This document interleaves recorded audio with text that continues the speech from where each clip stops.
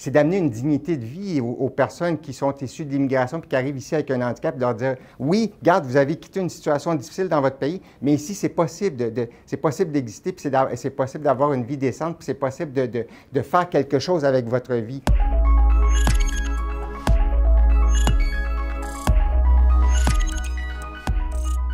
Le projet vise à comprendre la réalité des personnes en situation d'handicap issues de l'immigration. Veux, veux pas, il y a deux choses qui sont fondamentales dans la vie, c'est de se trouver une place où habiter, travailler, contribuer à sa société.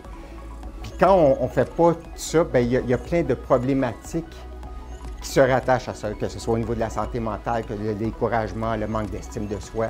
Donc, on s'est dit, il faut que ça change ces deux choses-là. Il faut, bon, le logement, c'est une chose, mais l'emploi, c'est fondamental aussi caractériserais ça comme un peu comme une naissance. C'est comme, il y, a, toute la, gestation, il y a toutes ces, différentes phases-là.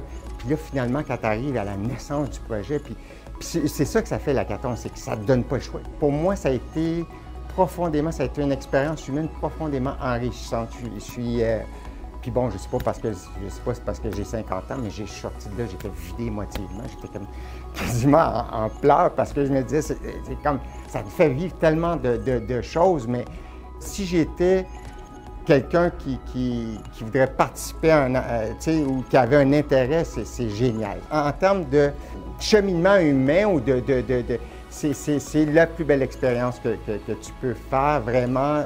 Tu donnes libre cours à ce qu'il y a de plus humain c'est la création. C'est ça que ça fait la carton sociale.